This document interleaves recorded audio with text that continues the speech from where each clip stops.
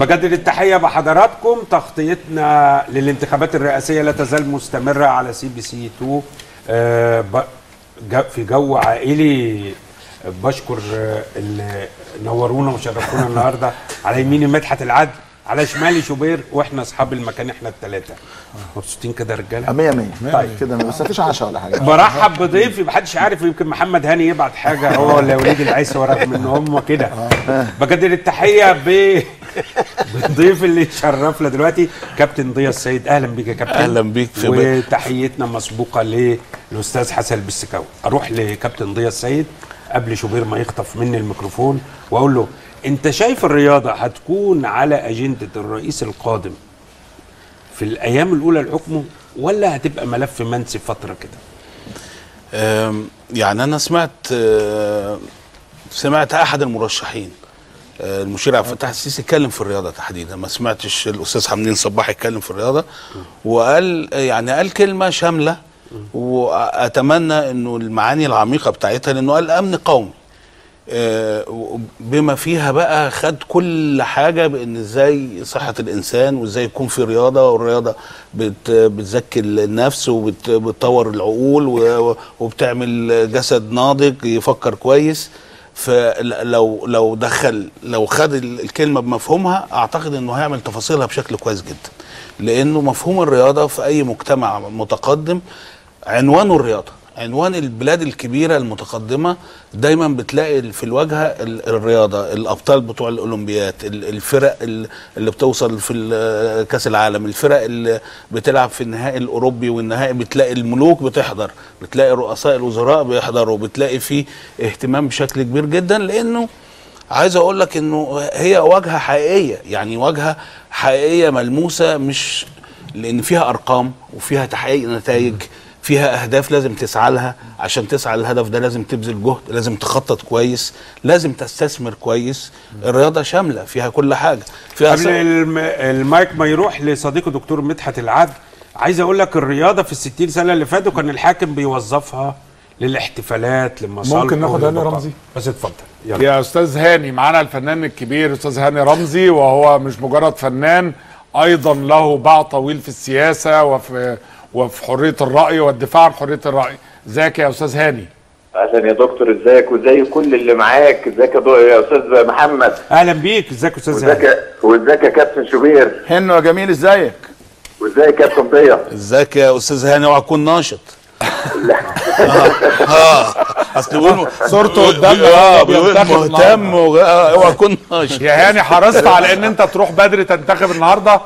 آه النهارده الصبح بدري الحقيقة والحقيقة أنا عايز أقول لكم بأمانة النهارده الواحد متأكد وعلى يقين إن ربنا بيحب مصر ومصر بخير بجد.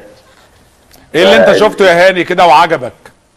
آه، طبعا آه، المصريين بخير المصريين حلوين المصريين الواحد يعني فخور بيهم.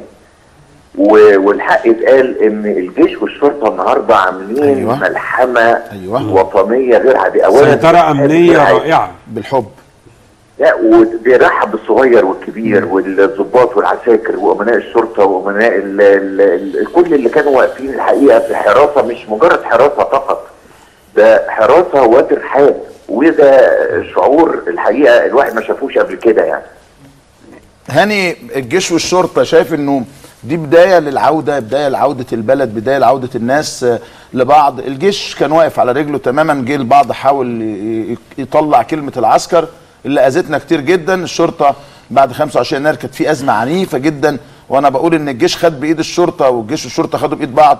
هل الشعب هياخد بإيد الاثنين والدنيا تمشي بشكل كويس الفترة اللي جاية بعد المشهد الرائع اللي شفناه النهارده بنشوفه في الفترة اللي فاتت؟ ده مطلب شعبي. ده مطلب الشعب كله بينادي بيه. الناس كلها آه، لما فقدت الأمن وفقدت الاستقرار رجعوا يقولوا فين فين الأمن؟ فين نعم. الشرطة؟ فين الجيش؟ والحقيقة هم يعني بينوا قد إيه هم وطنيين وقد إيه خايفين على بلدهم. وإحنا كان لينا لقاء مع ال- سياده المشير عبد الفتاح السيسي وقال إن مصر آه، مش حمل تجارب. نعم. حد يجي يجرب ولا حد يجي يعني ياخدها في طيار أو في مسار مختلف. إحنا إحنا محتاجين نقف على رجلينا محتاجين كلنا نتعاون مع بعض. فلازم الجيش والشرطة والشعب فعلا يتعاونوا مع بعض وإلا البلد دي هتضيع. طب الفنان هاني رمزي شايف دور الفن إزاي بعد الانتخابات الرئاسية؟ الفن لم يكن موجودا طوال الثلاث سنين اللي فاتوا. آه، أدى أعماله التقليدية العادية كأنها قبل 2010 مسلسلات رمضان فيلم هنا أو هناك. لكن مش موجود مش مواكب الأحداث.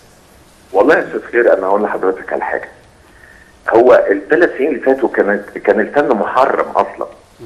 يعني الفن والفنانين محرمين.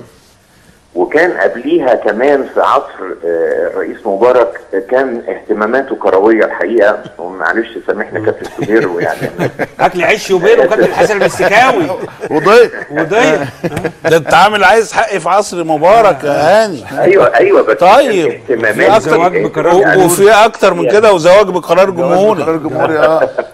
اصبروا عليا بس. آه. اتفضل. افهم وجهة صلح. صلح بسرعة صلح بسرعة. إحنا أصلا قاعدين ثلاثة آه. خلي بالك. وبعدين انت هتقفل وتمشي وإحنا هنكمل. فصلح. لا لا لا لا. اللي أنا عايز أقول إيه ده كابتن مسكاوي معاكم ده ما شاء الله ما شاء الله. اسأله اسأله على الماتش اللي عملناه سوا. فاكر الماتش اللي إحنا عملناه مع بعض؟ أيوه طبعا. حد البرنامج. بتاعك؟ يا فندم إزاي؟ ده أنت نورت الدنيا. فاكر الماتش كان مين اللي كسب في الآخر؟ أيوه عارف عارف. الحمد لله الحمد لله. اللي أنا عايز أقوله إن ما كنت ما كانش رئيس الجمهورية مثلا نشوفه بيروح يحضر مسرحية. أو مثلا يقوم رايح مثلا يحضر الفيلم الفلاني. الحاجات دي ما كناش بنشوفها خالص. لكن كان الحق. يتقال. أيام عبد الناصر كان بيشوف السينما وكان بيحب السينما جدا. أيام السادات كان بيحب السينما جدا. جه الرئيس مبارك كان الحقيقة اهتماماته كروية وعلشان إحنا أيضا بنحب الكورة وبنحب الرياضة فيعني إيه مسامحين في اللي فات. لكن الفترة اللي قبليها اللي بعد اللي اللي قبل دي دلوقتي كان الفن محرم أصلا. طب فإحنا على الفترة أمل الجاية إن- دور الفن هيبقى إيه؟ آه،؟ لا أنا أنا أنا سمعت كلام جميل جدا جدا جدا ووعود عظيمه جدا واهتمام كبير جدا بالفن. وأنا أعتقد إن إن شاء الله الفترة القادمة فترة هيحصل فيها نهضه فنيه وأنا متأكد من ده إن شاء الله يعني. متشكرين يا أستاذ هاني ويا رب من على لسانك آه، أعتقد إن أنت بتوجه رسالة لكل الناس ينزلوا النهارده وبكرة علشان بجد يعني هذا يوم مشهود في تاريخ مصر. عايز أوجه سؤال بقى لكابتن حسن مستكاوي وكابتن ضياء السيد. أنا عايز أرد على حاجة دور الفن. اتفضل. يعني برضو إحنا بنسأل ساعات كده يعني دور الفن دور الرياضة. الفن الرياضة الثقافة الأدب السينما كل الحاجات دي دي قوى ناعمة في إيد المصريين.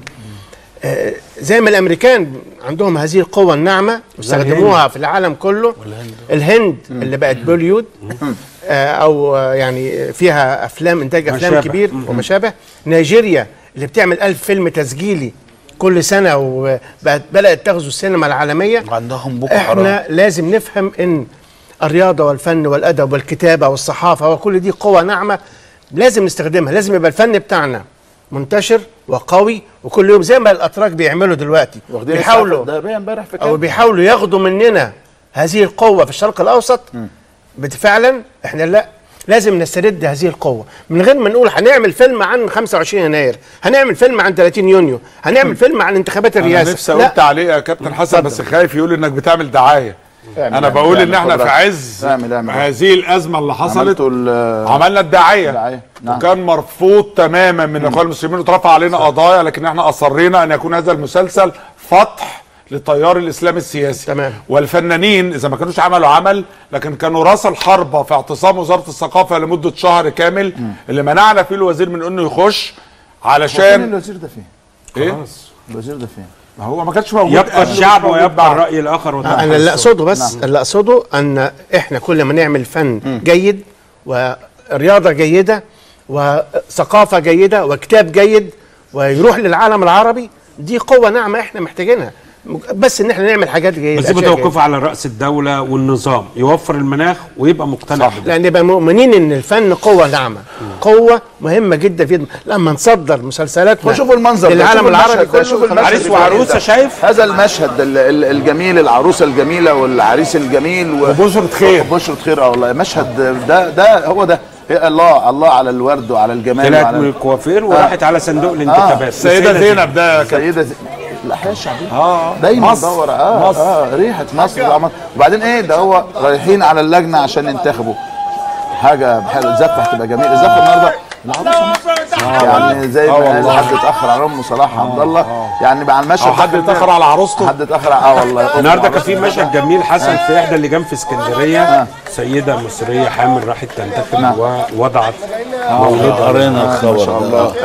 نعم خلينا نروح لفاصل ونرجع تاني لهذا اليوم الجميل وهذا الحوار الرائع.